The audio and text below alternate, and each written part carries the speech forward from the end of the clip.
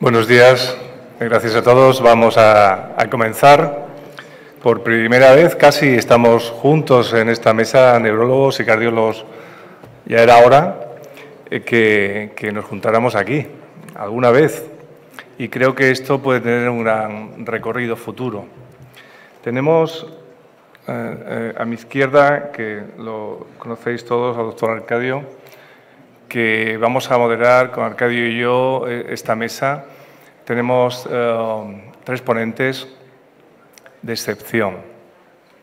El doctor Gallego, con el que tuve la gran suerte de trabajar en el Hospital de Navarra hace muchísimos años, y nos dieron, hemos comentado esta mañana, nos dieron una beca del Gobierno de Navarra para un estudio que estábamos haciendo, bueno, quizás con mucha intuición en aquel momento, en el año 90, 89, 90, eh, de, orejuela, de orejuela izquierda a través de ecotraesofágico. Y para mí es un placer que esté aquí. Es el, coordinador del grupo de trabajo de lo que nosotros llamamos nuestra sección en, cardiología de las enfermedades cerebrovasculares de la Sociedad Española de Cardiología. Tenemos otro gran experto neurólogo que nos va a hacer un repaso de, los, de la patología del ictus, eh, clasificación, etcétera, que es el doctor Pons, que agradecemos que esté aquí con nosotros. Y por último, eh, viene una persona que, todos ustedes conocen, muy conocido en el ámbito cardiológico mundial, es, eh, participa en los grandes estudios, en los grandes ensayos clínicos, viene de la medicina donde nació, la medicina basada en la evidencia, en la Universidad de McMaster, ha colaborado activamente en los grandes estudios, en el Crystal AF, en el Relay, etcétera. Y para nosotros es un placer, eh, doctor Morillo, tenerle aquí con nosotros. Sin más, eh, quiero que, que comenzamos, doctor Gallego.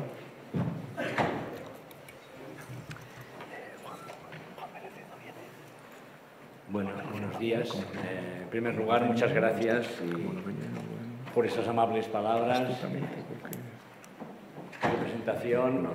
Para mí es un placer estar con todos ustedes en una reunión de esta envergadura y sobre todo con los ponentes y con los cardiólogos trabajando en algo común que es la atención a los enfermos, que en este caso nuestros enfermos que han sufrido la complicación más temible que tiene, como se ha dicho esta mañana, la fibrilación auricular.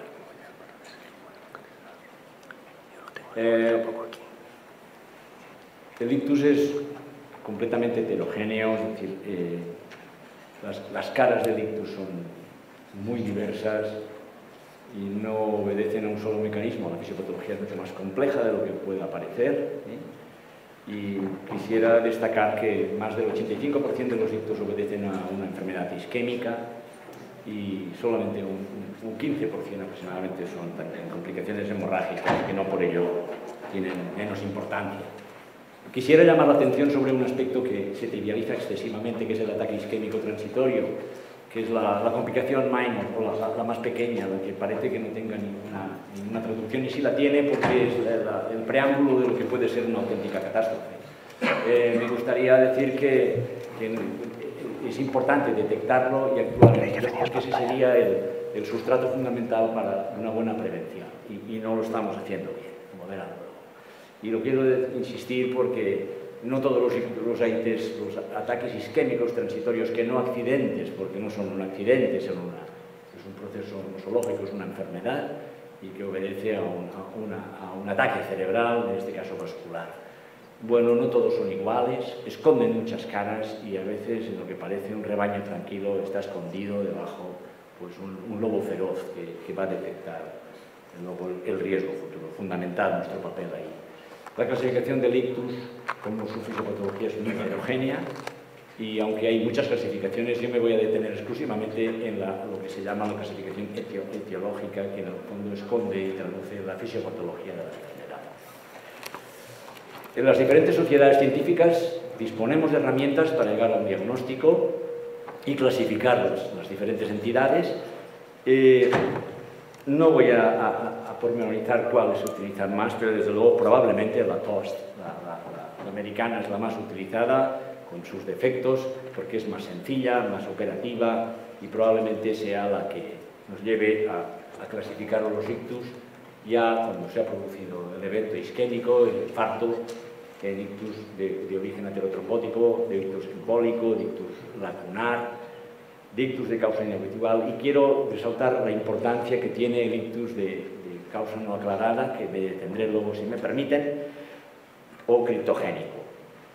Mm, clínicamente, el diagnóstico clínico eh, no es seguro, ¿eh? no, por la clínica no es suficiente y debemos ir a buscar eh, otras, otras facetas, otros aspectos. Y por ello diré, quizá me entiendan, que no es, nada fácil hacerlo, entre otras cosas porque el embolismo, el embolismo es el sustrato más importante de todos los ictus isquémicos. Para ello, para, hacer el diagnóstico, necesitamos herramientas, técnicas y entre ellas la neuroimagen, los estudios neurosonológicos, el estudio cardiológico para llegar con mayor o menor profundidad al diagnóstico, que luego mencionaré. Yo quisiera hacer un pequeño homenaje a un médico canadiense que tuve la suerte de conocer y que falleció con 99 años en Estados Unidos, en Nueva York, después de trabajar más de 40 años en, el, en, en Boston, que es el profesor Miller Fisher, que fue el que me auspició en el tema de una tesis en aquella época, que era la hipótesis lacunar que él defendió. Él, él nos enseñó a, a, ver que el principal problema estaba en la posibilidad de tener embolismos a raíz de lesiones, no solamente eh, de pared arterial, sino incluso cardíacas, y que el, fenómeno fisiopatológico probablemente más importante era precisamente el, embolismo. Eh, de ahí la palabra de infarto cerebral por embolia, que la embolia podía ser de continente y contenido arterial, arteria-arteria, de origen cardíaco, como un embolismo paradójico, que todos ustedes muchísimo mejor que yo, y, y incluso embolismo pulmonar, ¿no? y luego la naturaleza de los aspectos de lo que es el trombo, ¿no? con una heterogeneidad impresionante, ¿no? desde calcio, material trombótico, plaquetas, restos de placas, etc. Pero lo cierto es que el aspecto fundamental en la fisiopatología es que embolismo arterial, embolismo de origen eh, cardíaco y mecanismo de flujo colateral en el cerebro es muy importante y por eso la clasificación por imagen vale, pero no, lo es tanto y sí pensar que ambos se combinan. Hipoperfusión, embolia, embolia, hipoperfusión. Y por eso nace la clasificación con la idea de decir si es aterotrombótico es porque hay una enfermedad arterial objetivada, extra o intracraneal, con una repercusión eh, hemodinámica más o menos importante y que tiene además la traducción en los factores de riesgo. Eso nadie dudaría, si no hay otras razones, otras causas para hablar de ictus aterotrombótico. Tenemos herramientas eh, para poder eh, establecer el diagnóstico con tranquilidad como son el ecodoppler, el doppler transcraneal, el duplex, etc. Pero el, el infarto aterotrombótico tiene un peso específico, sin embargo no es el único. El profesor Fischer de nuevo nos enseña en el año 65 que pequeñas, pequeños síndromes clínicos que hasta entonces habían sido evaluados en la, en la neurología francesa por el estado lacunar eran la consecuencia de lesiones de vasos muy pequeños, de micras de diámetro, las llamadas vasos perforantes, y que se lesionaban generalmente por hipertensión arterial y diabetes, pero fundamentalmente hipertensión arterial. Nació la hipótesis lacunar que sigue vigente hoy y que, como verán, son lesiones muy, de muy pequeño tamaño localizadas en territorios de vasos perforantes y que tienen una significación clínico y fisiopatológica importante de cara a diferenciarlos claramente. ¿eh? Y eso no me voy a extender más, pero me parece importantísimo.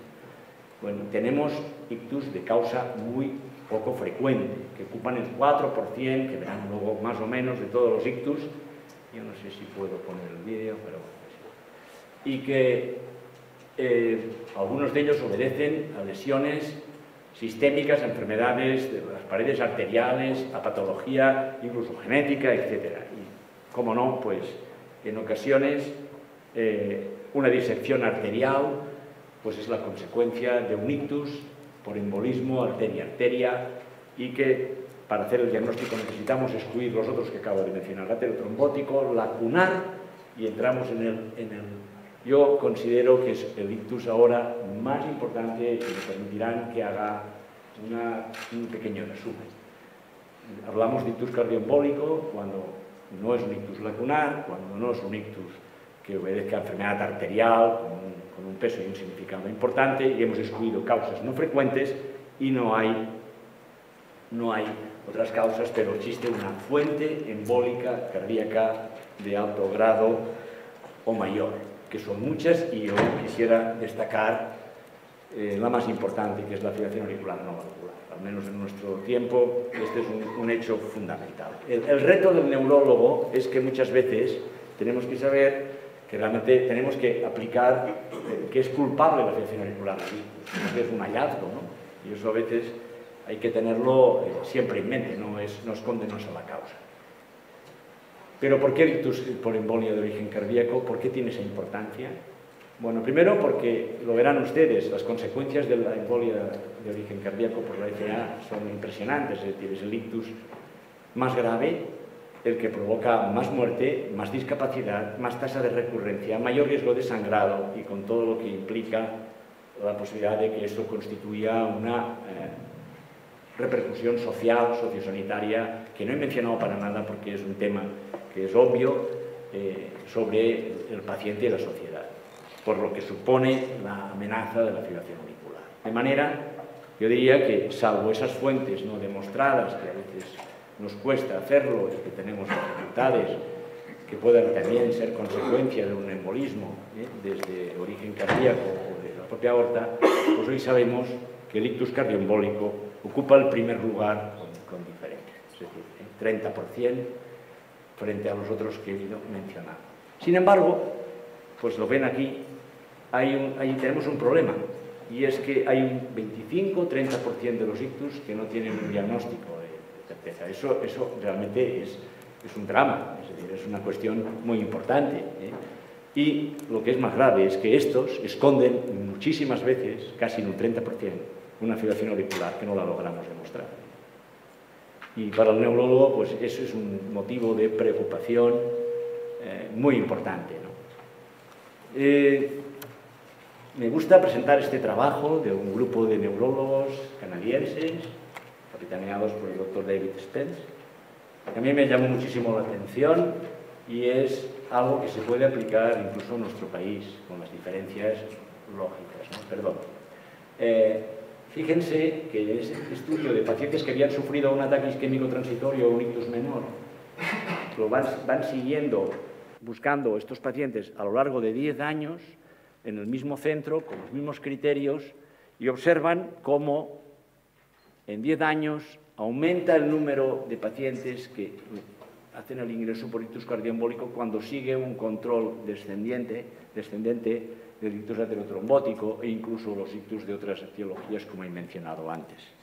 Y, y es algo que llama muchísimo la atención, se duplica con una fuerza impresionante el número de pacientes que vienen de nuevo con, con ictus y de origen embólico. ¿no? Esto tiene una traducción, es que no estamos detectando bien estos pacientes en, en, en su fase de prevención primaria que esconden una fuente y fundamentalmente la fibrilación auricular.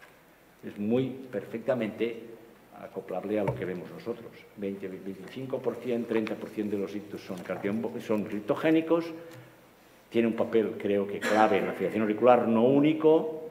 Muchos pacientes no se dan cuenta porque pueden estar asintomáticos, ustedes lo saben muy bien. Da igual el tipo de fibrilación auricular, pero desde luego si lo detectamos y lo tratamos adecuadamente, este paciente tiene unas probabilidades enormes de revertir una historia que es negra. ¿eh?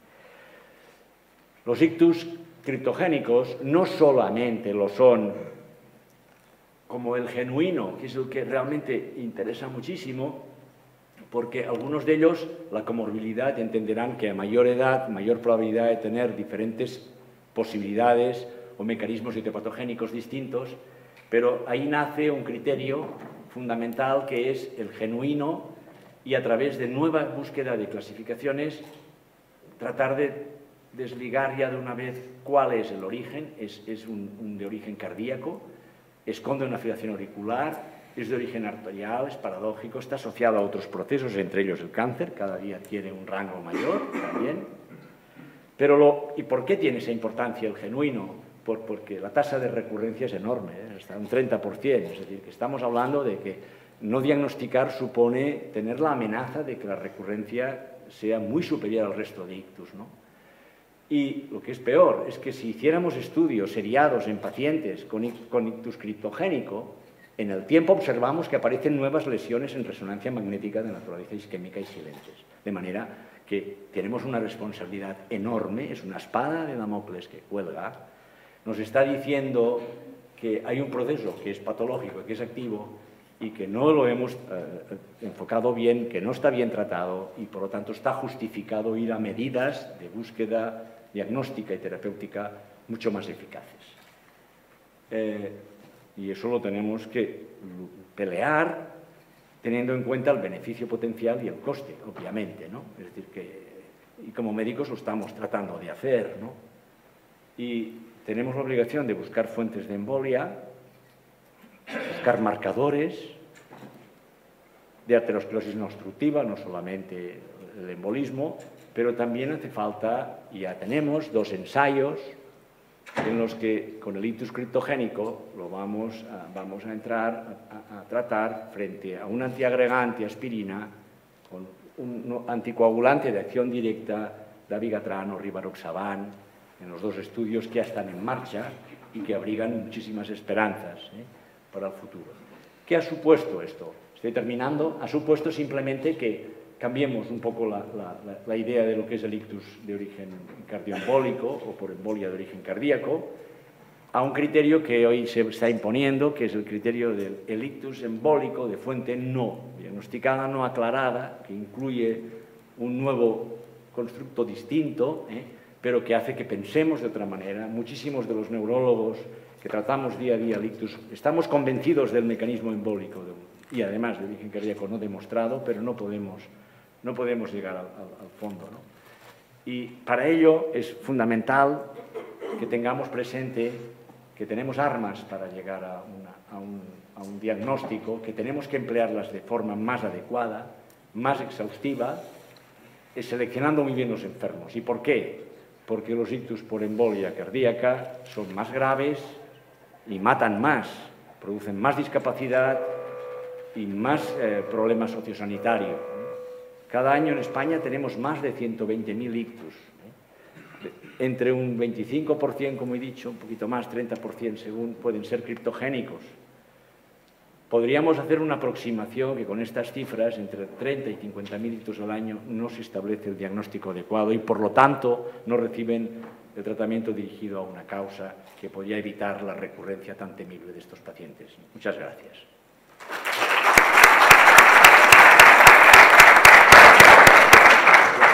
Muchas gracias. Si os parece, hacemos la discusión al final, eh, de manera que vamos a dar paso al segundo ponente.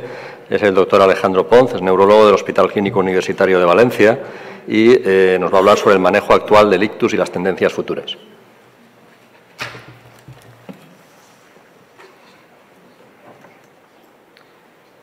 Bueno, yo también me uno a los agradecimientos al comité organizador por la invitación a poder hablaros hoy aquí del ictus, ¿eh? Un tema que, bueno, pues que nos interesa mucho a los neurólogos, pero que creo que, bueno, que forma parte del manejo ¿eh? de tanto vuestro como nuestro. ¿eh? Bueno, tengo que hablaros del manejo actual del ictus y de las posibles novedades o tendencias futuras en cuanto al manejo. ¿vale? Es un tema muy amplio entonces, bueno, pues me, tengo que centrar, hay que elegir, como suele decirse, ¿no? Bueno, eh, recordar, ¿vale? La importancia del ictus, 130.000 casos año, 80.000 fallecen o quedan con discapacidad, 75% mayores de 65 años, pero hasta un 20% en menores de 45 años, 10% del gasto sanitario, segunda causa de mortalidad global, primera causa de discapacidad en el adulto, segunda causa de demencia tras la enfermedad de Alzheimer y un incremento progresivo a lo largo de los años en la incidencia. Esto es una curva sacada del Instituto Nacional de Estadística de la evolución de ingresos por ictus o AIT en los hospitales españoles. Faltan los dos últimos años, pero estaría un poquito por encima, estaríamos en 118.600 los últimos datos. Por lo tanto, vemos que esto, pues lejos de ser un problema resuelto, va más. Y como yo suelo decir, el mejor ictus es aquel que no tiene lugar. Es decir, la estrategia preventiva, desde luego, es la idónea y dentro de que cuando ya ha ocurrido ya podemos hacer poquito, pues minimizar en, el mayor grado posible eh, las consecuencias. Lo primero que os voy a hablar es de la recanalización en la fase aguda del ictus, que es una de las fuentes de los grandes cambios en el manejo del ictus agudo que ha habido en los últimos años. Os voy a contar un poquito la historia. ¿vale? La historia comienza en el año 95, la historia a nivel asistencial, porque la historia obviamente es previa, con este ensayo, es un ensayo del año 95 del NITS, que analiza estas dosis de RTPA con dos ventanas terapéuticas, que son estas de aquí, de 0 a 90 y de 90 a 180 minutos, y que demuestra que hay un beneficio en resultado, digamos, en evolución funcional a tres meses. Al mismo tiempo, se hacía este ensayo, que es un ensayo europeo, el ECAS, con una dosis mayor de RTPA, con una ventana mayor y que encuentra resultados desfavorables, pero dicen que en algún subgrupo de pacientes puede haber un beneficio. Ponen en marcha un segundo ensayo, que es el ECAS-2, con una dosis menor de RTPA, una ventana todavía un poquito amplia y vienen a obtener el mismo resultado, que el resultado no es positivo, que hay una tendencia hacia la mejoría y que en algunos subgrupos de pacientes puede haber beneficio. ¿Qué se hace? Bueno, pues en Estados Unidos se aprueba en el año 96, en Canadá en el 99 y en Europa no se aprueba hasta el año 2002, pero con una serie de condiciones, que todos los pacientes se registren en una base de datos común y que se iniciara un nuevo ensayo para ver qué pasaba más allá de las tres horas. Se recogen 6.000 pacientes en 285 centros y lo que se encuentra es que si comparamos con los ensayos clínicos randomizados publicados, en el, uso en abierto pues había una tasa equivalente, ¿eh? cuanto menos equivalente de hemorragia intracerebral, una mejoría en la tasa de mortalidad y una, mejoría no significativa en la independencia funcional a tres meses. Comparando centros con eh, experiencia y sin experiencia, pues se ve que prácticamente no hay diferencia entre ellos y por tanto la conclusión es que, eh, que la trombolisis eh, es eficaz y segura y que cuanto menos es tan eficaz como en los ensayos clínicos randomizados, el NITS en concreto, y que la trombolisis tiene que ser o tiene que pasar a ser considerada una parte del manejo rutinario de los pacientes con ictus agudo. Se autoriza ¿vale? a partir de entonces, pero estamos ya alrededor del año 2006-2007, ha ido pasando tiempo, estamos relativamente cerca, y en el 2008 se publica este nuevo ensayo, que es ese otro que había que poner en marcha, es el ECAS 3, en el que se demuestra que por encima de las tres horas todavía hay beneficio terapéutico siempre que el tratamiento lo iniciemos antes de las cuatro horas y media del inicio de la clínica. Pero la máxima está de tiempo es cerebro, el beneficio obtenido va a ser tiempo dependiente, es decir, cuanto más precozmente iniciemos el tratamiento, más beneficio vamos a obtener y menos complicaciones vamos a tener derivadas del tratamiento. Por tanto, ampliamos la ventana a cuatro horas y media, es el otro gran cambio que ha habido, pero siempre con la máxima de que hay que correr en el tratamiento. Esto permite, eh, digamos, extender el uso de la trombolisis ya en abierto, digamos, desde un punto de vista asistencial, a una gran parte de pacientes, sobre todo inicialmente los hospitales más dotados, pero lógicamente esto hay que intentar extenderlo.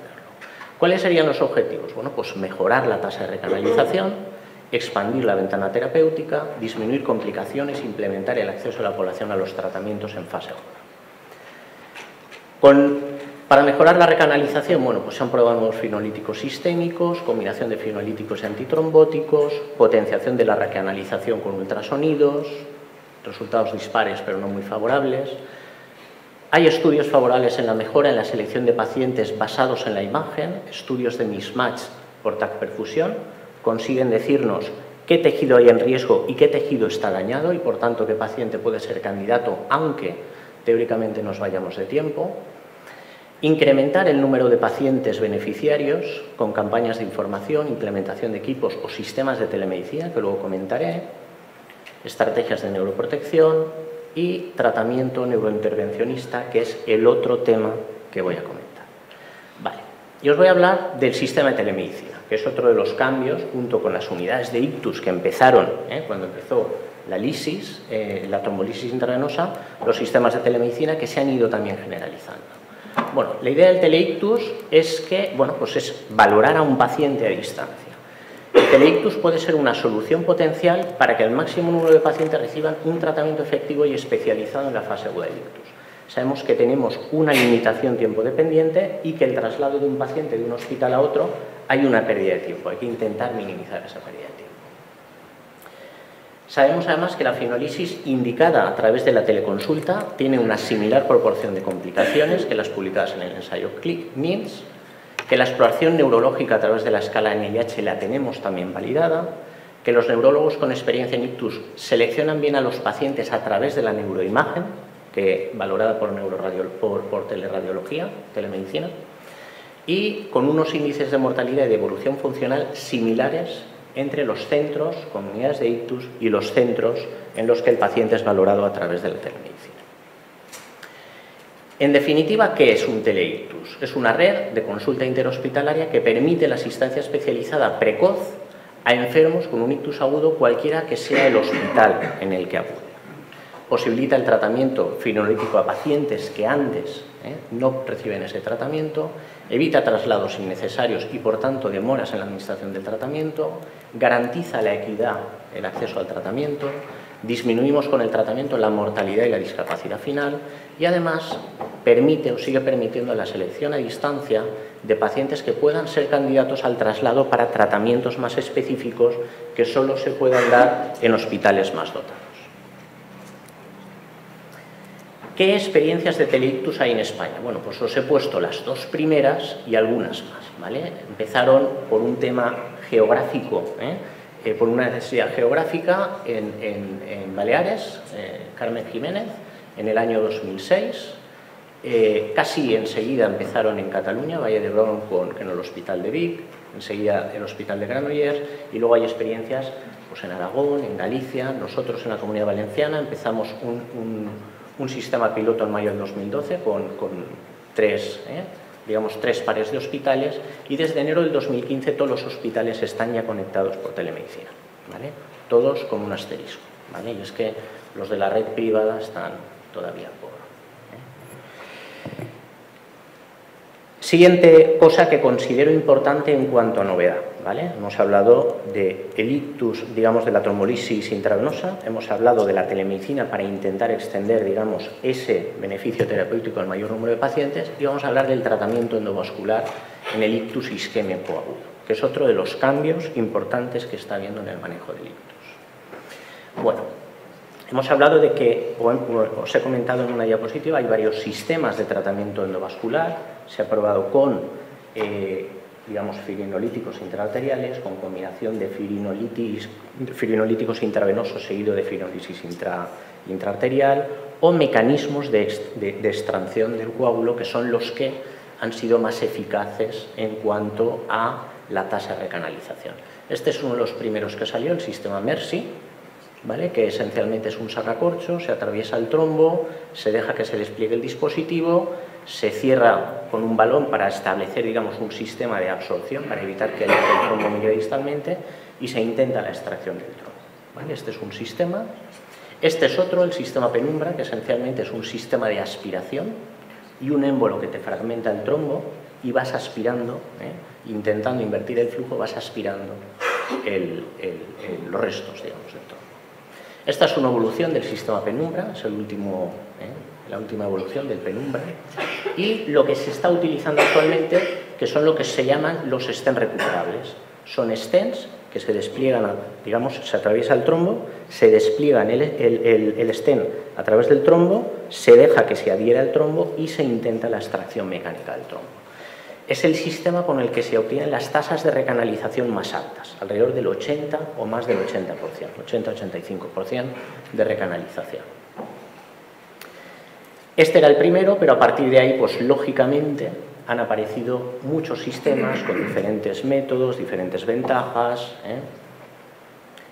y sistemas, ¿vale? Que van en camino o combinados con ultrasonografía o con láser. Dos ejemplos clínicos, un paciente de 74 años, dos, del centro, con una oclusión de la cerebral media, un ictus hemisférico izquierdo severo, tenemos una escala que hemos comentado, la escala NIHS, una, puntuación de 18, es un paciente que está grave. Se le hace una trombolisis intravenosa sin mejora y se hace una trombectomía mecánica mediante un stent recuperable con una recanalización completa y el NIHS al alta es de 4. ¿vale? Esta es la oclusión de la cerebral media, esta es la recanalización después del procedimiento y este es el material embólico extraído. Otro caso, una mujer de 71 años, una afiliación auricular, con una prótesis mecánica, que habían tenido que retirar la anticoagulación por un hematoma en vaina los rectos y hace un itus vertebrovasilar, no se puede anticoagular, tiene un criterio de exclusión que es un INR superior a 1.7, en angiotax se confirma una oclusión del tercio distal de la arteria basilar, ¿vale? Tenía esta paciente además la desventaja de que tenía una oclusión previa de la carótida interna derecha, con lo cual la cerebral media derecha dependía del sistema vertebrovasilar y este es el resultado. ¿vale? Se ha repermeabilizado las dos cerebrosas superiores, cerebrales posteriores, las tálamo perforantes o tálamo encefálicas que están por aquí y además la cerebral media de este lado. ¿vale? Este es el material que se obtiene y el NIH alta es de cero, se va asintomática. En cuanto a manejo preventivo, novedades, pues no voy a comentaros nada a vosotros, yo creo que uno de los cambios que está habiendo, digamos, con beneficio en cuanto a manejo del ictus, o en la prevención sobre todo, es, son los nuevos anticoagulantes en la, en auricular.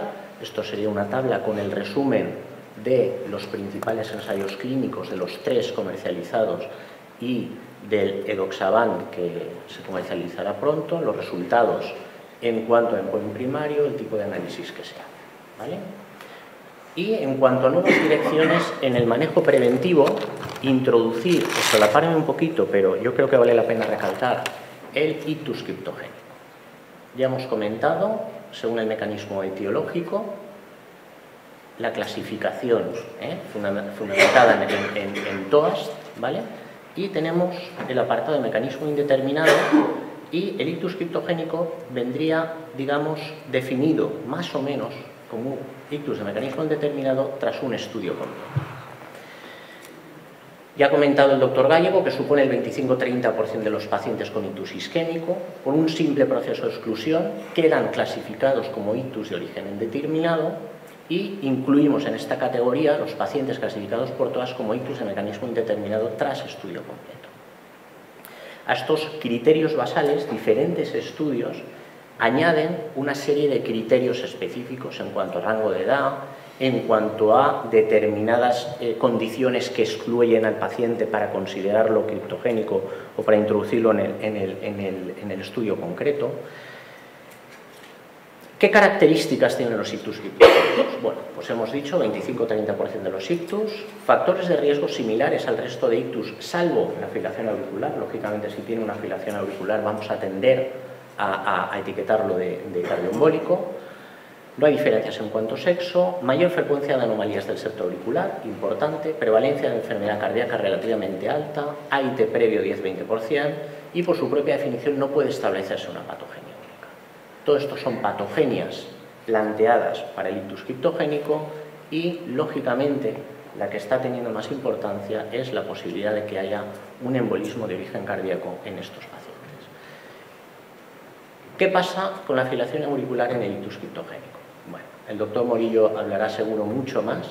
Estos son una tabla resumen de la detección de filación auricular en diferentes estudios con dispositivos no implantables o implantables en cuanto a la detección de filación auricular en pacientes con ictus criptogénico con estudio completo. Tenían que tener por lo menos todos un holter de 24 horas y la tasa, perdón, la tasa de ictus eh, de, de, detección de filación auricular es, como veis, muy alta. ¿Qué pasa con el ictus relacionado con la filación auricular? Y voy acabando. Bueno, pues que son más graves, mayor discapacidad final, mayor mortalidad inmediata y diferida, menor tasa de recanalización y riesgo más elevado de recurrencia. Por tanto, los ictus asociados a filación, a filación auricular sabemos que tienen un peor pronóstico, que la filación auricular es frecuente en el ictus criptogénico, que el ictus asociado a filación auricular es prevenible de manera efectiva y que el ictus asociado a filación auricular tiene un manejo preventivo diferente. ¿vale? El siguiente paso, lo que ha comentado el doctor Gallego, la definición del ESUS, que es un paso más allá del ictus criptogénico que es el ictus embólico de fuente no determinada, ¿vale? No tiene por qué ser necesariamente una fuente cardioembólica y que lo que defienden es que tiene unos criterios de definición más positivos y no solamente de exclusión. Y, como ha comentado él, pues hay una serie de ensayos en marcha ya para ver cuál es la mejor estrategia preventiva en estos pacientes. Y muchas gracias.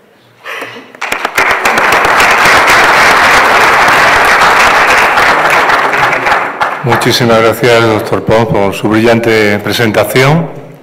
Y pasamos al, doctor Benecet Mazuecos, que ha trabajado activamente, ha publicado eh, mm, un montón de, de, paper en este tema que nos va a hablar de la filación auricular silente y la detección de la filación auricular silente. Créeme que seguro que nos va a aclarar bastante. Cuando quieras, Juan igual que el resto de ponentes, agradecer la invitación para participar en esta reunión y en especial para hablar de este tema, que es un tema que, nos gusta mucho en, nuestro servicio y el que estamos pues, estudiando activamente. Eh, voy a hablar de la monitorización electrocardiográfica en el paciente que ha tenido un, ictus criptogénico y bueno, simplemente sin ánimo de ser muy redundante en los datos neurológicos que ya nos han dado eh, nuestros compañeros, pues la clasificación de, los ictus establece como uno de esos ictus el ictus criptogénico. ¿no? Y cuando en otras patologías eh, buscamos las causas etiológicas y la causa criptogénica suele ser la, menos frecuente, ¿no? en estos casos sorprende, pues, o por lo menos nos sorprende a nosotros como cardiólogos, que la causa criptogénica en este escenario eh, pues, involucra hasta el 30% de los casos. Algunos datos, sin ser muy repetitivo, eh, sobre el ictus y la fibrilación auricular, que son dos entidades que, como sabéis, van de la mano. Pues el ictus es la tercera causa o segunda causa de muerte en, nuestro medio y la primera de invalidez. Se asume que su prevalencia en mayores de 65 años está en torno al 8% y aumenta con la edad. En paralelo, la fibrilación auricular es la arritmia más frecuente y su prevalencia igualmente aumenta con la edad, considerándose que afecta en torno al 10% de los pacientes mayores de 80 años, que los ictus, el 80% son isquémicos, de ellos el 25-30 cardioembólicos y de ellos más del 50% se deben a fibrilación auricular, que la fibrilación auricular se considera responsable de uno de cada cinco ictus, que son, como han dicho nuestros compañeros, ictus más graves, más discapacitantes y frecuentemente recurrentes, y que la fibrilación auricular se estima que en torno a un 20% es totalmente asintomática. El paciente no percibe esa fibrilación auricular y por tanto es difícil que podamos llegar a, actuar o prevenir que suceda un ictus. Repitiendo también las causas de cardioembólicas, pues tenemos este gran listado encabezado por la fibrilación auricular, que como sabemos es la causa más frecuente y tratable, y lo que estábamos hablando en las ponencias anteriores, ¿no?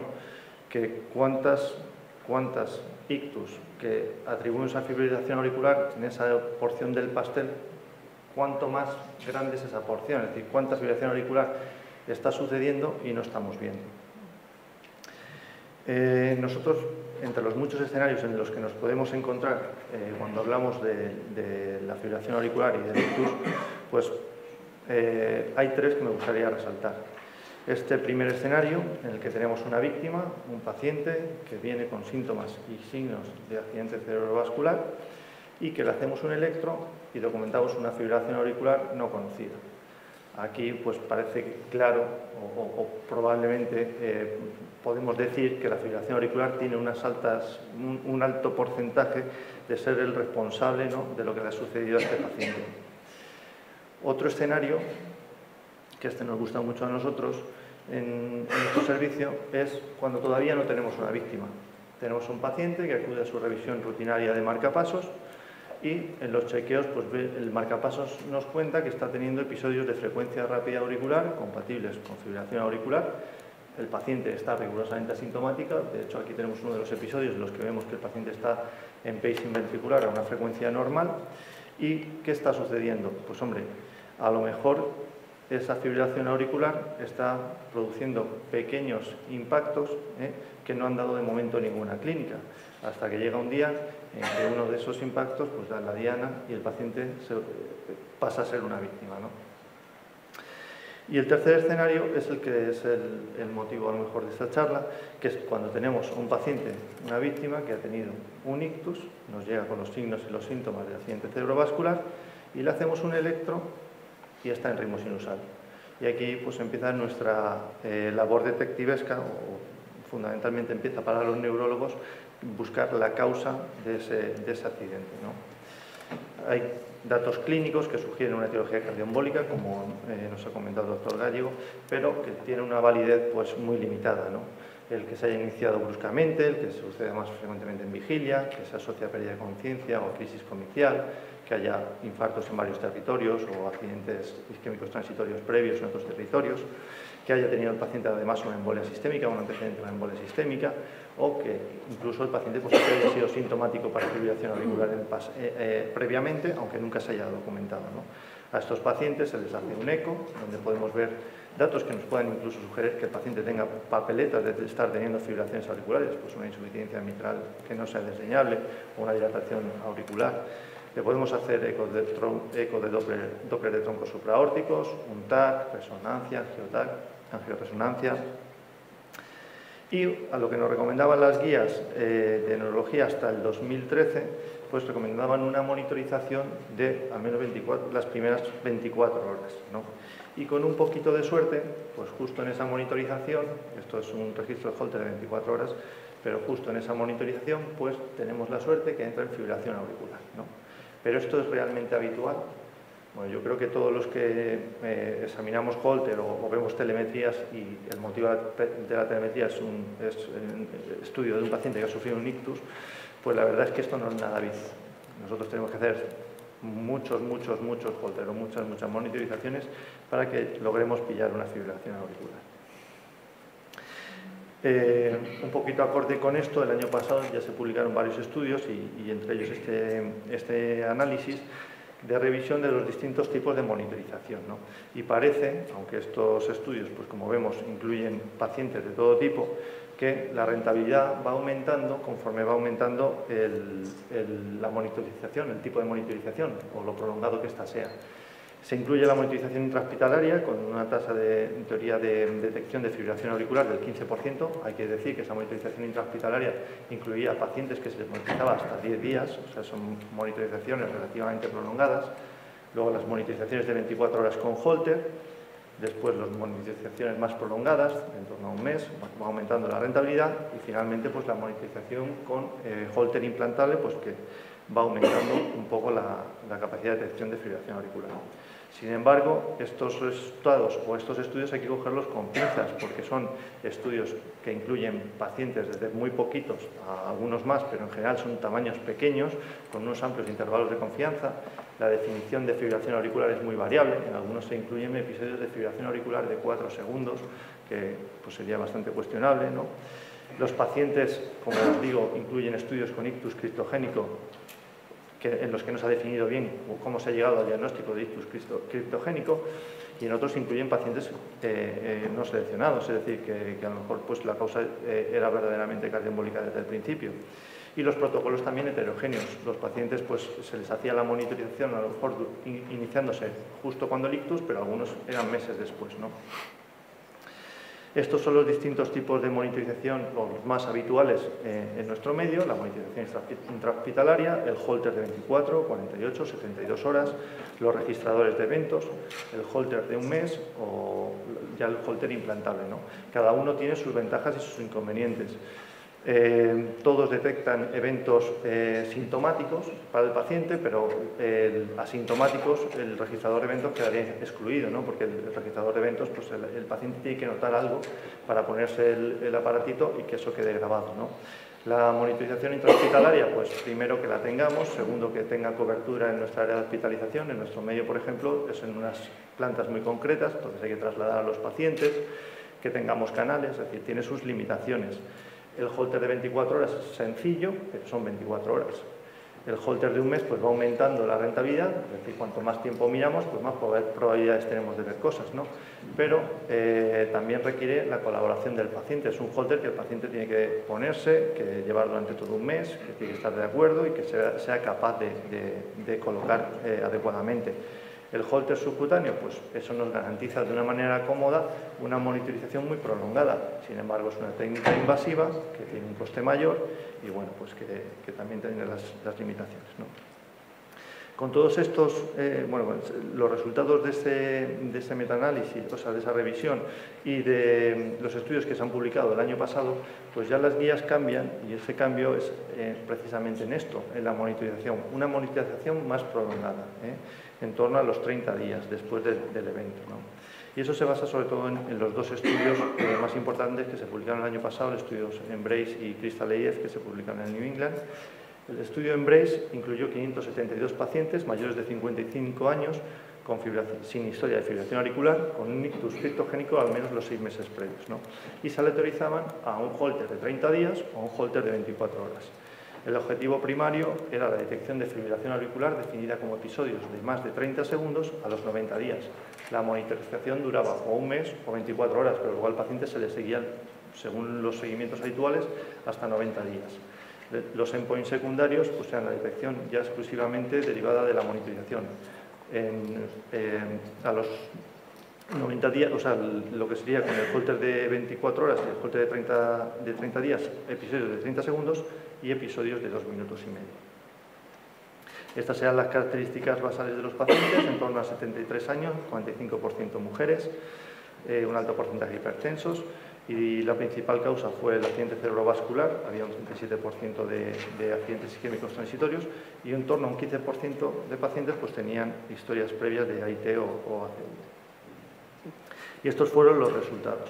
Los resultados, pues que la monitorización de 30 días detectaba fibrilación auricular en un 16%, mientras que la monitorización habitual con un holter de 24 horas tan solo un 3% a los 90 días en endpoints secundarios exclusivamente basándonos en lo que habíamos detectado con la monitorización, los porcentajes eran más o menos similares, 15 contra el 2%, y episodios de más de 2 minutos y medio, 10 contra el 2%. Los autores concluían que la monitorización prolongada mejoraba la capacidad de detección de fibrilación auricular silente y que probablemente además estaba infraestimada. ¿Por qué? Pues porque el 85% de los pacientes de los que no se detectó CA completó tres semanas pero las cuatro semanas de monitorización solo las completó el 61% de pacientes, es decir, hay un alto porcentaje de pacientes que no terminó todo el tiempo de monitorización. Si a lo mejor todo el mundo hubiese seguido monitorizado hasta el final, hubiésemos visto alguna FA más. Esto también traduce una de las limitaciones de este holter de 30 días, que es que el paciente pues, tiene que cargar con él los 30 días. ¿no? Además están infrarrepresentados pacientes con ictus grave, que son los típicos de la fibrilación auricular, también porque el paciente se tiene que poner el aparato, tiene que tener capacidad y no quedar con demasiadas secuelas del, ictus para poder ponérselo. La monitorización se inició 75 días después del evento. Hay varios estudios que, dicen que cuanto más próximo al evento, pues es más rentable la monitorización y que no sabemos qué pasa después de 30 días. Puede que justo el día 32 se hubiese detectado una fibrilación auricular, ¿no? Pues probablemente ese, valor en, teoría en este grupo estaría infraestimado. El estudio Crystal Layer cogió 441 pacientes mayores de 40 años sin, sin diagnosticados de ictus criptogénico eh, que, había sido, que había sucedido en los 90 días previos. Y en este estudio sí que es verdad que fueron muy exigentes a la hora de llegar al diagnóstico de ictus criptogénico, realizando eco y ecotas esofágico a todos y además se descartaron trombofilias en menores de 55 años y demás. Se ha lectorizado una holter implantable o holter de 24 años, de, 24 horas, y, el, objetivo, el objetivo primario pues, era la detección de fibrilación auricular a los 6 meses, a los 12 meses, definida igualmente fibrilación auricular como episodios de más de 30 segundos. En los endpoints secundarios estaba la recurrencia de ictus o el inicio de anticoagulación. La edad de los pacientes eran mucho más jóvenes, 61 años, si comparamos con el Embrace a la derecha, pues Veis que el Embrace estaba en 73 años, aquí estamos en 61 años. Menos mujeres, 36%, la mayoría ACVs, 91%. E igualmente pues, había un alto porcentaje de hipertensos y con antecedentes de ACV y AIT previo. Y estos fueron los resultados. La monitorización prolongada con holter subcutáneo pues, detectó fibrilación auricular a los seis meses en, un en torno a un 9% de, los pacientes, en 19 pacientes concretamente. Mientras que el seguimiento habitual con una monitorización de 24 horas solo detectó en un 1,4 que eran tres pacientes. Y esos que se detectaron en el grupo control fue a costa de hacer 88 electros, 20 holters e incluso eh, implantar un, monitorización, una grabadora de eventos, con lo que quiere decir que detectar fibrilación auricular eh, no es simplemente el holter de 24 horas, sino que esos pacientes además luego requieren muchas pruebas eh, no invasivas para finalmente documentar algo. si el seguimiento lo prolongaba a 12 meses, se detectaba fibrilación auricular en un 12% mientras que en un 2% en el grupo control. Eh, así como unos datos más, el tiempo de la randomización fueron 38 días, es decir, estábamos más próximos al, momento del ictus que en el estudio Embrace. El tiempo de la primera detección de fibrilación auricular estuvo en 42 eh, días y dos datos curiosos. La duración de fibrilación auricular de menos de 6 minutos fue solo en el 8%, es decir, generalmente se detectaban fibrilaciones auriculares que duraban, que duraban minutos y casi el 80% eran asintomáticas, lo que también traduce que es muy difícil detectar fibrilación auricular en estos pacientes basándonos en clínica o en síntomas. Eh, hubo más anticoagulación en el grupo de Holter subcutáneo y eh, respecto a la tasa de ictus pues no se redujo a pesar del tratamiento, tampoco estaba diseñado el estudio para ello. Los autores concluían que la monitorización prolongada, eh, prolongada mejoraba significativamente la detección de FA eh, sin embargo, pues, es un procedimiento invasivo, en cinco pacientes hubo que explantarlo con infección o erosión. Y también un dato a favor es que estos pacientes cuentan con monitorización remota, por lo cual nosotros podemos eh, recibir telemáticamente alertas de, episodios de fibrilación auricular. para concluir, ya, estoy terminando. simplemente poner en contexto los resultados de los estudios llama la atención que el estudio Embrace, el del Holter de 30 días, comparado con otros estudios similares, tiene unas tasas de detección de fibrilación auricular llamativamente mayores y en cambio el del Holter subcutáneo tiene unas tasas de detección llamativamente inferiores respecto a lo que se esperaba en estudios previos pero esto es el resultado de comparar estudios. ¿no? lo que decíamos antes, diagnóstico de criptogénico, cómo se llega, pues en muchos estudios no está definido y, a lo mejor no todos los estudios son igual de exigentes. La definición de FA igual, no vale una FA de 4 segundos, a lo mejor si el criterio de detección es FA mayor de 30 segundos, es decir, no es lo mismo los algoritmos de los dispositivos. La detección de fibrilación auricular por los holters subcutáneos ha mejorado con algoritmos más precisos, mientras que los primeros pues, se basaban en frecuencias ventriculares y más, y a lo mejor eran menos específicos. El inicio de la monitorización, estudios que inician pronto tras el evento o los que inician más tarde. Y luego la, edad y las comorbilidades de la población. Eh, si consideramos que la FA por debajo de 60 años tiene una prevalencia menor del 1%, y el estudio Crystal, la población estaba en torno a esa edad, mientras que el Embrace estaba en torno a 70 años y por encima de 80 años la prevalencia es del 10%, pues obviamente hay un salto para, detectar de una diferencia importante. Para concluir, el diagnóstico de fibrilación de ictus criptogénico es un diagnóstico de exclusión que debe ser después de pruebas muy exhaustivas, que la fibrilación auricular es una causa potencial y tratable, que cuyo diagnóstico puede suponer un reto, y que la monitorización prolongada pues, mejora la rentabilidad para, detectar. Problemas, pues la detección de FA, definir FA, cuánto debe durar una fibrilación auricular para que la consideremos significativa y que bueno que uno puede tener FA y tener ictus aterotrombóticos, una cosa no excluye la otra.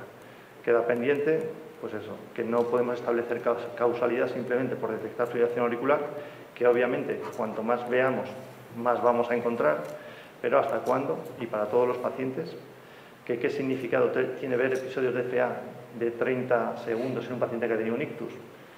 Pues a lo mejor si lo viésemos en un paciente portador de marcapasos no le damos mucha importancia, pero si ya tenido un ictus, esos 30 segundos, pues Hombre, no creo que estemos viendo la FA más corta, ni tampoco la más larga, pero probablemente pueda tener otras FAs más largas y no hayamos visto.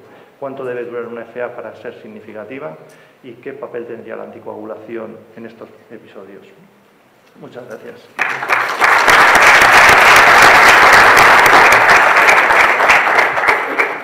Bien, y finalmente eh, vamos a dar paso al último ponente, eh, a quien agradecemos especialmente eh, su asistencia a esta sesión por su centro de trabajo, es el doctor Morillo de la McMaster University Hamilton de Canadá. Nos va a hablar sobre el impacto de la detección de fibrilación auricular silente en la prevención y tratamiento del ictus. Bueno, muchísimas gracias por la invitación. es un placer estar aquí y básicamente les voy a mostrar los mismos slides del doctor Beneset, pero en inglés y con castellano colombiano, así que... ¿Y que está todavía pensando mi presentación ahí o qué pasó? Bueno, en todo caso es un placer estar aquí eh, y le agradezco a los organizadores. Está teniendo un ictus ese computador ahí. Dale un poco de naco. Nosotros en Colombia el naco le decimos es al, al puré de papa. Para nosotros el naco es eso. Entonces, muy bien, aquí en este edificio estamos prácticamente todos los que eh, hablaron de todos estos estudios. Aquí la oficina de Stuart Connolly, John Eichelboom, Jeff Healy, eh, Morillo, Bob Hart. Bueno, todos, los que, todos estos estudios que ustedes hablan se diseñan en este edificio. Allá estuvo mi amigo Paco visitándonos hace aproximadamente un año. Y hace también aproximadamente un poco menos de un año estuvimos aquí en las montañas y ahí estaba mi amigo Paco pensando cómo carajos convenzo yo a este Moya que hagamos una reunión conjunta. Y finalmente, después de mucho ahí, se decidieron llegar a este acuerdo y por eso es que estamos aquí hoy y los felicito porque pues definitivamente la gente de dispositivos y los electrofisiólogos pues hacemos lo mismo y trabajamos en lo mismo. Así que es un éxito que se debe a estos dos personajes que ambos son grandes amigos y caminantes. Estos son todos mis, uh, mis conflictos de interés. Eh, después les he hecho un cuento sobre mis conflictos de interés. Una de las cosas que ya mostraron es este paciente que ustedes ven todos con mucha frecuencia, que es el que está en la, en la clínica de marcapasos y viene y la viejita no tiene nada, pero le encuentran un poco de fibrilación auricular o de, de estos episodios que son asintomáticos.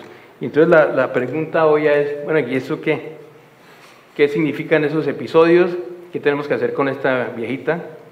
Estos episodios de alta frecuencia son sinónimo de fibrilación auricular. Todos estos episodios son reales porque muchas veces lo que estamos haciendo es sobredetectando onda T, entonces haciendo double counting, que no necesariamente tiene que ver con eso. ¿Y cuál es el riesgo de ictus en estos pacientes? Y esto realmente ha sido un área que ha florecido en los últimos cinco años. Y ustedes ven varios estudios como el TRENDS, el ASSERT, que lo hicimos allá en McMaster, el IMPACT y el, el RATE, que todavía no han publicado pero que está por publicarse, donde básicamente se preguntó esta pregunta y yo voy a hablar más que todo de la CERT porque es el estudio que hicimos nosotros y que conocemos como con más detalle. Básicamente la CERT que se publicó en New England Journal ya hace casi tres años, eh, que fue liderado por mi compañero Jeff Healy, eran pacientes que tenían un marcapaso o un defibrilador bicameral que no tenían historia de fibrilación auricular, pero que tenían por lo menos como factor de riesgo hipertensión arterial. Eso era lo único que queríamos. Y lo que queríamos ver era si esos pacientes tenían un aumento en la detección de estos episodios de, fibrilación auricular o como llamamos atrial high rate episodes, que eran con un corte de 190 latidos por minuto. De, de, respuesta atrial. Y ustedes ven que son los pacientes típicos como los pacientes que habíamos visto en todos los estudios de los NACOS, más o menos 77 años de edad, un poquito más viejos que esos. Y lo que vimos fue que esta fue la tasa de detección de taquiarritmias clínicas, aumentaba en, los pacientes que habían tenido esta detección, más o menos casi un 15%. Y lo que también se observó es que hay casi una duplicación del riesgo de accidente cerebrovascular en este tipo de pacientes. Lo importante que hay que tener en cuenta es que, por ejemplo, los pacientes con un CHADS por debajo de, de 2 realmente tenían un riesgo muy bajo de tener eventos. A pesar de que estos fueron casi 3.000 pacientes, ustedes ven que la tasa de eventos pues, es, es, no es muy alta, que eso hay que tenerlo en cuenta. Con un CHADS por encima de 2, pues la tasa de eventos fue casi el 4%, que es semejante, es un poco por debajo de lo que vemos en los pacientes que tienen ya fibrilación auricular establecida. Entonces, lo primero que, que llegamos a concluir es que, bueno, obviamente en casi tres años de seguimiento, casi 36% de estos pacientes que tienen hipertensión pero no tenían historia previa de fibrilación auricular, se va a detectar estos episodios. Y los episodios detectados de esas taquiarritmias se asocian con casi una, dos veces y media, una duplicación del riesgo de accidente cerebrovascular isquémico o de embolismo sistémico. Y desde luego lo que les digo, que esto es lo que uno al final es lo que le va a tomar la decisión de anticoagulo a este personaje o no, es el riesgo-beneficio que uno tiene.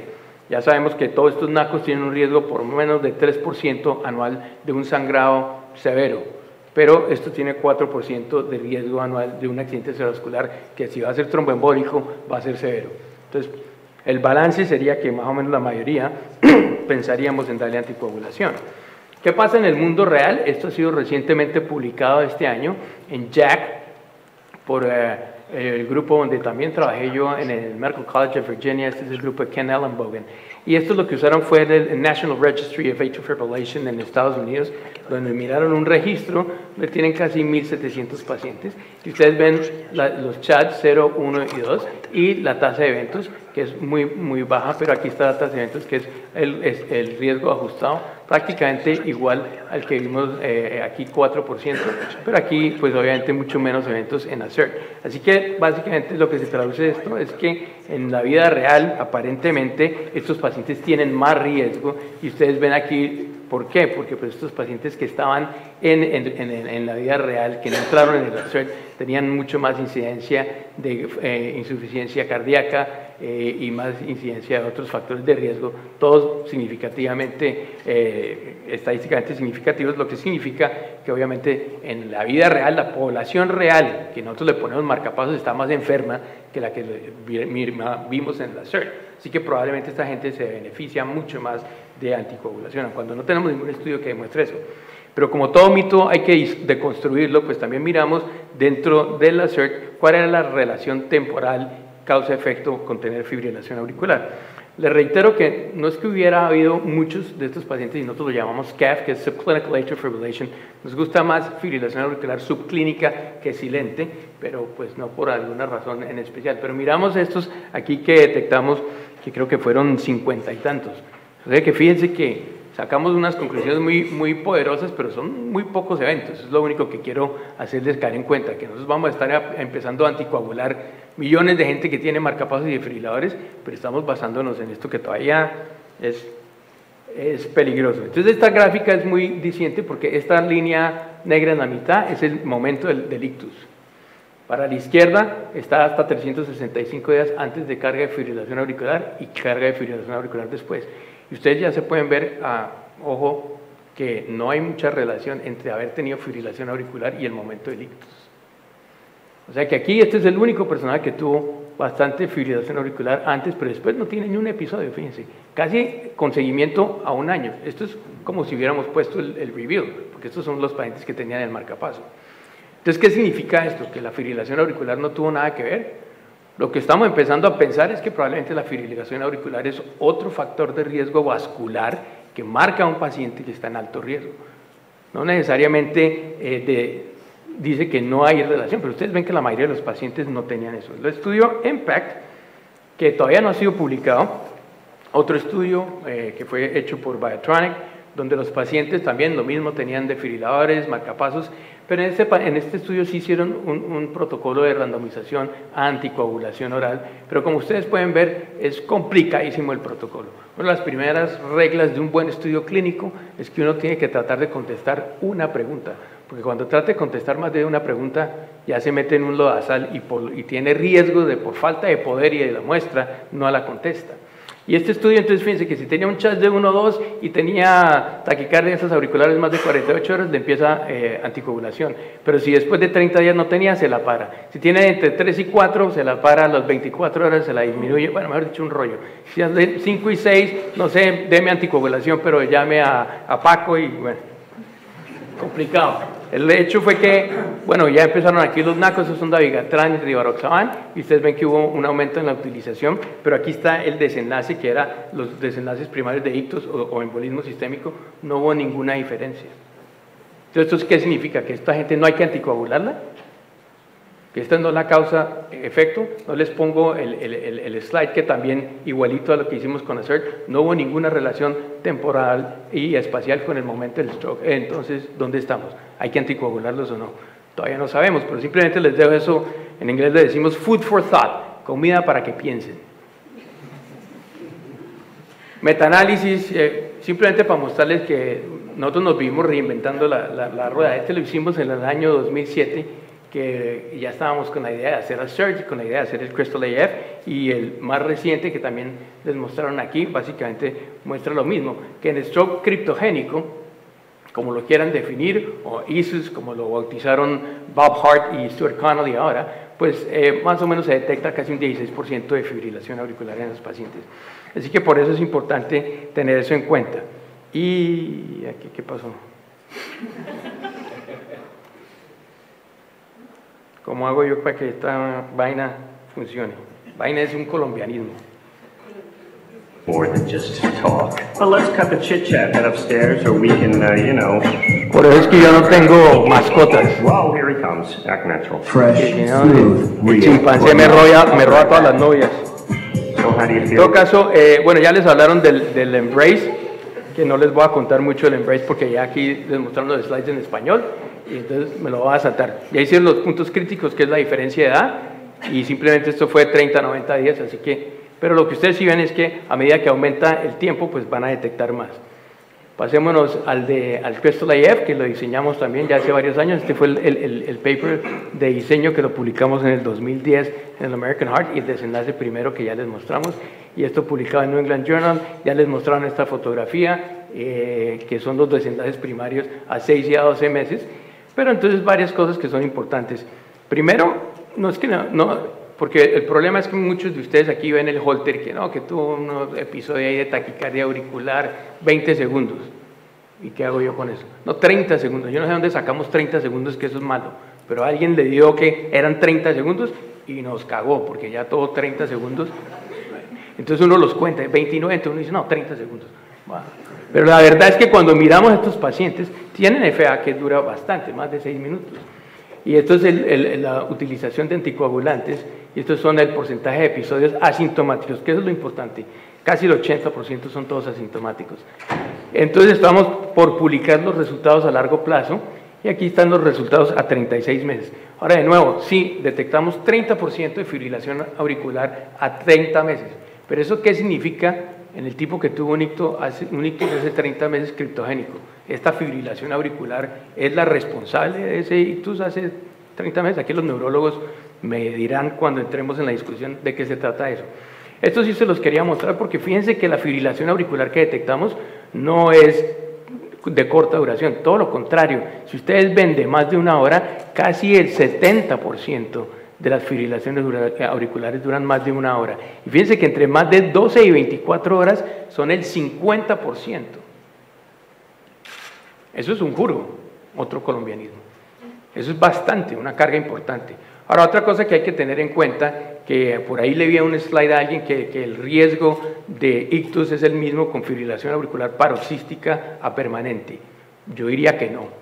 Ya hoy en día sabemos por los estudios de Aristóteles y el estudio que acaba de ser publicado de Arrows y, de, de- y de la- del Active A, donde los pacientes tenían como control aspirina, la tasa de ictus es mayor con fibrilación auricular persistente y permanente comparado con fibrilación auricular paroxística, lo cual no, no significa que no lo tengamos que anticoagular, pero sí nos pone a pensar cuál es el riesgo que vamos a tomar cuando vamos a anticoagular a alguien con fibrilación auricular paroxística. Entonces, estos son los datos de utilización. A seis meses, fí- fíjense que sí hubo una diferencia significativa, porque claro, detectábamos mucho más fibrilación auricular en los pacientes con el monitor implantable. Ya a los 36 meses, pues eh, estos son los pacientes con el, el, eh, monitor implantable, 38.5% de utilización y que cambiaban la decisión clínica. Así que sin duda cambiamos nuestras decisiones clínicas con esto, pero no sabemos si cambiamos el pronóstico o los desenlaces a largo plazo en estos pacientes. Y obviamente este estudio no fue estadísticamente o no estuvo diseñado para detectar una diferencia, pero uno ve que hay unas tendencias en que estos pacientes que les empezamos anticoagulación temprana tienen menos tasas de ictus comparados con los que no se los dimos. Así que eso está por eh, demostrarse que tenemos que hacer esto en estos estudios. ¿Cuáles son los pacientes? Porque no podemos ponerle un monitor de eventos a todo el mundo. El doctor nos mostró el reveal, pero ya tenemos el link, que el link ni siquiera lo tenemos que hacer en el laboratorio, ustedes lo pueden hacer en el consultorio, que es una cosita ahí que se pone subcutánea, es como uno inyectarse un poquito de cocaína. Y lo que pasa es que ese bicho, no sé cuánto valga aquí, pero allá vale 4 mil dólares ese, ese, el, el- el link, el nuevo. Entonces no se lo podemos poner a todo el mundo que queramos monitorizar con stroke criptogénico. Entonces fíjense que la edad fue uno de los marcadores, entonces entre más viejo de pronto tenemos que monitorizar más. El, el, el score de chats, que ya se lo sabemos, pero una cosa que vimos fue el intervalo PR. Así que si ustedes ven en el electrocardiograma de superficie ya un intervalo que está por encima de 180 milisegundos y por cada 10 milisegundos hubo un incremento de 20% en la detección de fibrilación auricular, porque tenemos que tratar de maximizar eso en esos pacientes. Otra cosa que hemos visto es el cuento de que atrial fibrillation begets atrial fibrillation. La fibrilación auricular predispone a más fibrilación auricular. Y esto todavía no ha sido publicado, pero eh, tenemos estos datos que creo que vamos a presentar en el europeo ahora, no me acuerdo. Pero ustedes ven aquí que son los pacientes que tuvieron episodios breves y episodios más prolongados, que el promedio aquí era más o menos de nueve minutos. Uy, se está hundiendo el barco. Y aquí ustedes ven el tiempo entre el episodio inicial y la detección. Y lo que sí vemos es aquí, que sí, la fibrilación auricular, aún la silente, progresa y progresa casi dos veces hasta volverse en episodios que duran eh, más de dos horas. Así que al final, y ustedes ya vieron que mostramos que el 50% de los pacientes tenían episodios entre 12 y 24 horas. Si eso lo trasladamos a que se va volviendo como fibrilación auricular más persistente, el riesgo de ictus entonces será mayor. Así que sigue habiendo algunas preguntas sin contestar, esas preguntas que todos nos hemos hecho aquí, que ustedes pueden leer más rápido que yo, pero cuáles las guías, pues estas son las guías que publicamos en Canadá que todavía están, eh, acaban de ser publicadas, donde estos pacientes pues tienen recomendaciones moderadas para anticoagular, ya ustedes oyeron de el Artesia, que es el estudio que estamos conduciendo desde McMaster, donde es un estudio doble ciego, ah, es un estudio aleatorizado de apixaban contra aspirina en estos pacientes que tienen fibrilación auricular subclínica. Así que es importante detectar esto y obviamente tenemos muchas preguntas todavía que contestarnos antes de definir si esto es lo que necesitamos en estos pacientes. Y finalmente, pues, esto es como, como uno ve la evidencia, que este le pregunta qué hora es. Entonces le coge aquí las, el, los codos al, burro y le dice, son las 5 y 35. ¿Más seguro? ¿Está seguro?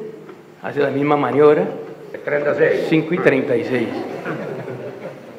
El tipo se queda ahí pensando. Gracias. Bueno, gracias.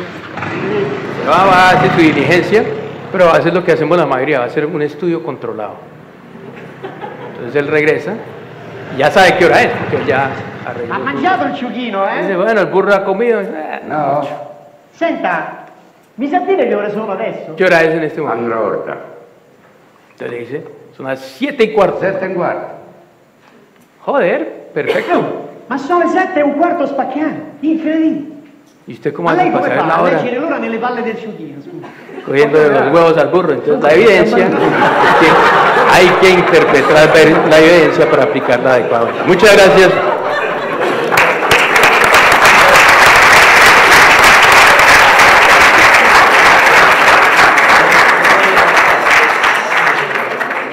Muchas gracias. Tenemos unos minutos para discusión. Eh, vamos a pedir, por favor, a los ponentes que eh, vengan aquí a la mesa.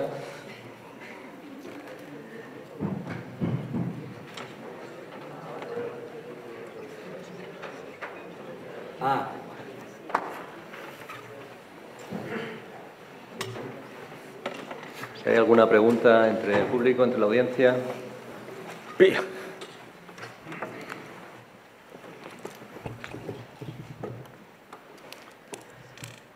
Bien, si no, eh, en relación con los ictus que nos preocupan a los cardiólogos, eh, uno de ellos casi nunca se toca y a mí me tiene particularmente preocupado y es el paciente en el que tenemos, por ejemplo, una bradicardia eh, o una taquicardia supuestamente asintomáticas que vamos manteniendo durante con el tiempo y que en un momento dado nos hace un ictus.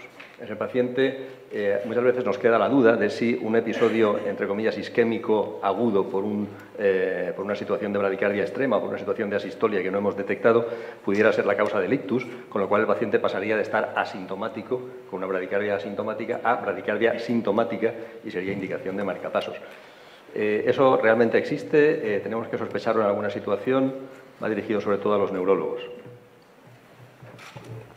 Bueno, eh, yo no sé si lo he comentado antes, pero el ictus hemodinámico, para que se produzca por un bajo gasto, tiene que haber una repercusión en circulación colateral o en las arterias extra o intracerebrales.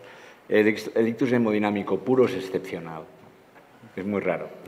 Y entonces tendría que tener una persona que haga una bradicardia, que tenga un compromiso hemodinámico, puede, pero si no lo hay, no tiene por qué producir ninguna isquemia cerebral. Y para que exista un compromiso hemodinámico tiene que haber una alteración estructural en la pared del vaso que provoque una disminución del, flujo sanguíneo cerebral en un área focalizado. Una oclusión de carótida que haya pasado asintomática, una enfermedad intracraneal muy significativa, asintomática, que es muy raro.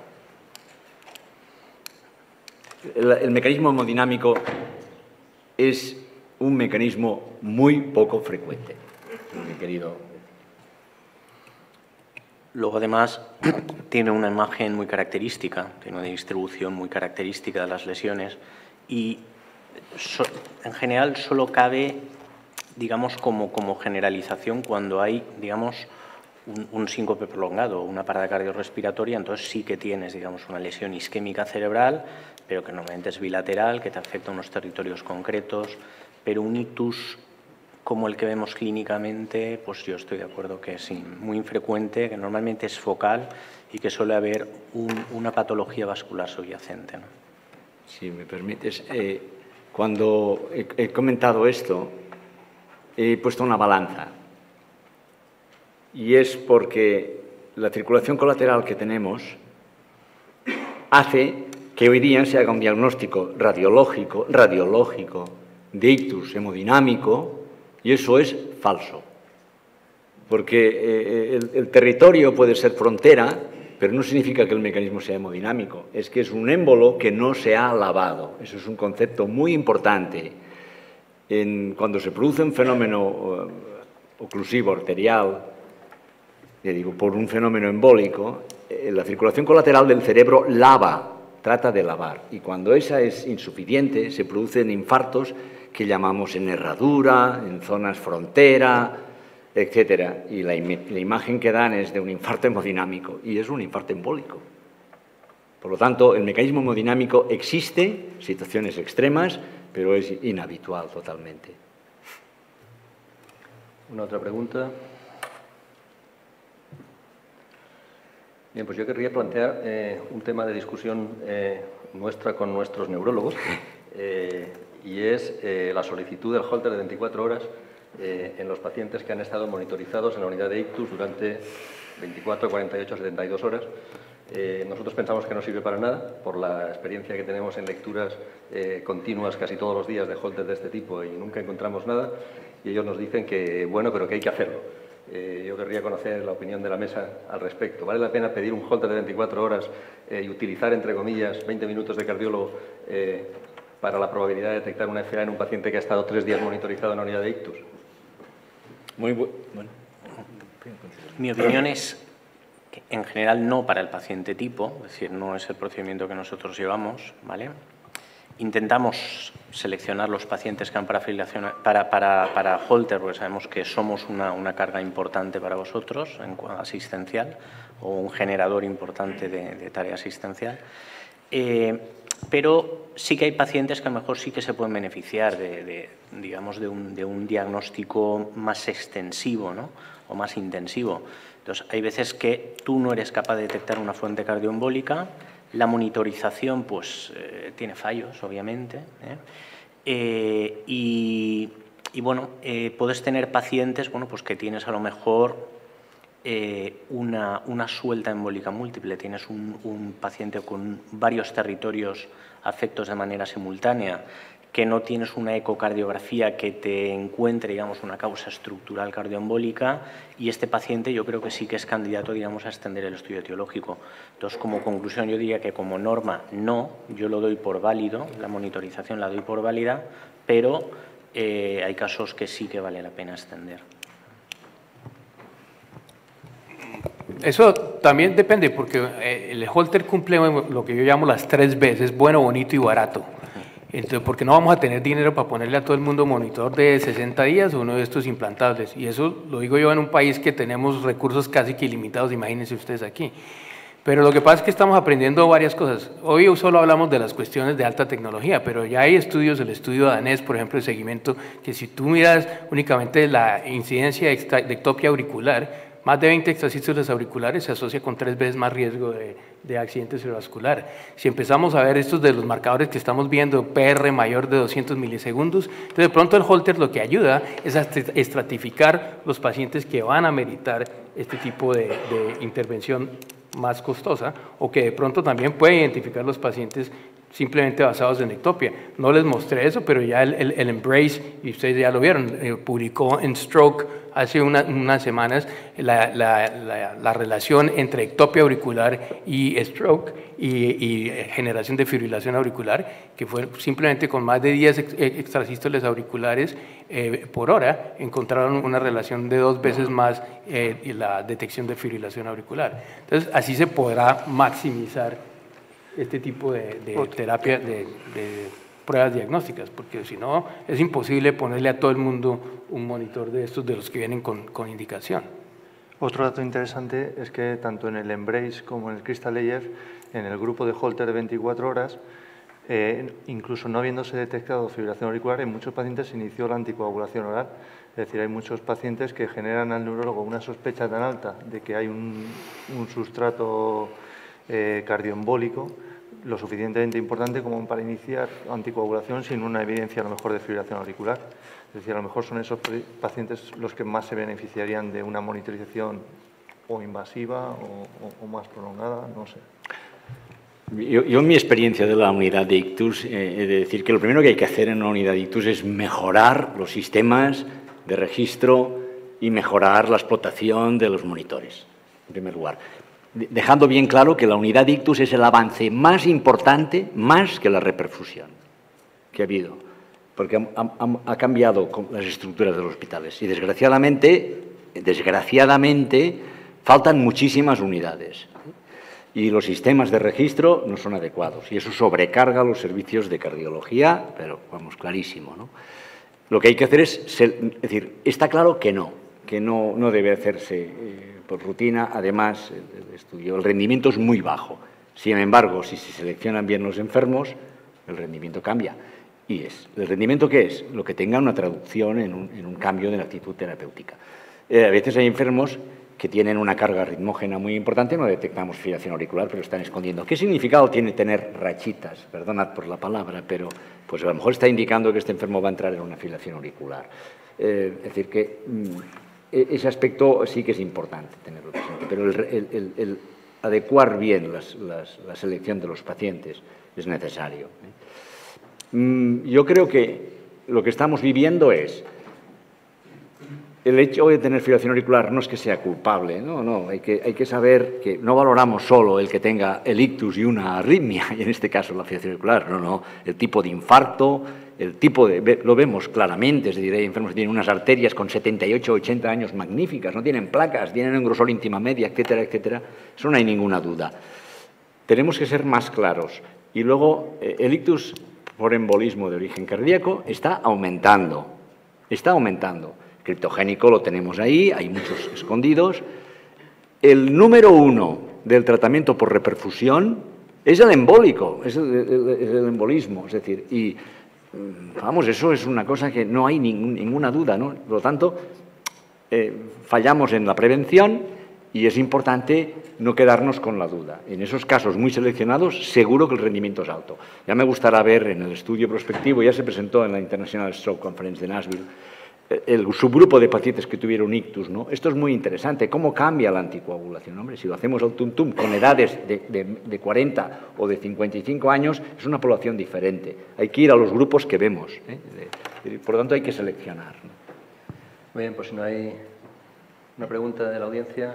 Bueno, no sé si tenemos tiempo.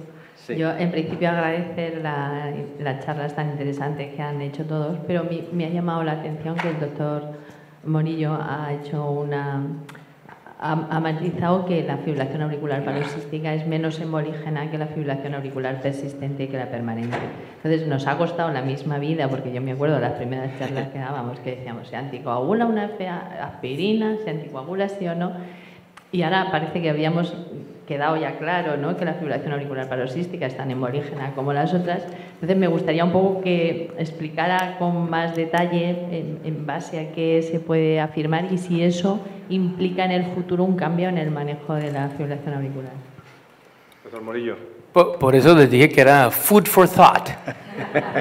No, no, hice ninguna aseveración fuera de eso. Esto viene de, bueno, no sé si ya, ese es el, el estudio que fue publicado por eh, el primer autor es Van Hasse, que era un, research fellow que estuvo allá con nosotros, y con Stuart Connolly y John Eichelboom, que usaron las muestras del Averroes, que es el estudio de apixaban contra aspirina, y el Active A, que habíamos hecho antes, donde teníamos un grupo que se llamaba aspirina, y usaron ese grupo como control, porque estaban con aspirina, y miraron las tasas de eventos de embolismo y de, de ictus embólico en esos pacientes que tenían fibrilación auricular paroxística, fibrilación auricular permanente o fibrilación auricular persistente, publicado en European Heart Journal en enero de este año. Y las, las, las curvas de Kaplan-Meier son muy discientes. La diferencia que hay entre tener fibrilación auricular paroxística y fibrilación auricular persistente o permanente es casi de tres veces la diferencia del riesgo de, de ictus. Ahora, yo no estoy diciendo que no tengas que anticoagular al paciente con fibrilación auricular paroxística. Ojo, yo no he dicho eso. Lo que estoy diciendo es que el riesgo es menor. Ahora, si el riesgo es menor, bueno, de pronto diferentes tipos de estrategias pueden, ser utilizadas en los pacientes. Eso no lo sabemos, simplemente, y eh, bueno, hay que tener también cuidado que estos son estudios que son estudios aleatorizados, donde el grupo control tenía aspirina y lo mismo se ha reportado en la población de Aristóteles. Simplemente para dejarles saber que esta teoría que teníamos que fibrilación auricular paroxística y permanente y persistente tenían el mismo riesgo, probablemente no es real. Ahora que siguen teniendo riesgo, pero es un riesgo menor, y que no los tengamos que anticoagular, nadie está diciendo eso. Lo que estoy diciendo es que esto se traduce en otras cosas que yo ya pienso más ah, en avanzadas, por ejemplo, en la ablación de fibrilación auricular. La ablación de fibrilación auricular, usualmente los pacientes que hacemos son debajo chats. Casi todas las series reportan pacientes con chats por debajo de 2. Entonces, por ejemplo, esos pacientes, y la otra cosa es que si uno tiene un paciente con fibrilación auricular persistente y lo convierte en fibrilación auricular paroxística, ¿le vamos a cambiar el riesgo de accidente de ictus? Esa es la pregunta del millón. Porque si esto es cierto, que la fibrilación auricular paroxística tiene menos riesgo que la fibrilación auricular persistente, de pronto una de las metas a largo plazo es tratar de cambiar la historia natural y por ende reducir el riesgo, lo cual en ningún momento estoy diciendo que dejemos de anticoagular. Muchas gracias, doctor Morillo. Me van a permitir 30 segundos, solo 30 segundos, para hacer un pequeño, pequeñísimo resumen. El doctor Gallego eh, nos ha presentado las clasificaciones, la americana, nos ha dicho que tenemos herramientas para establecer el diagnóstico. El ictus cardioembólico es el 30%, el 25 al 30% de los ictus quedan sin diagnóstico. No ha hablado del ictus cristocéntrico genuino, que no sabía la palabra que era, pero la ha aclarado bastante bien.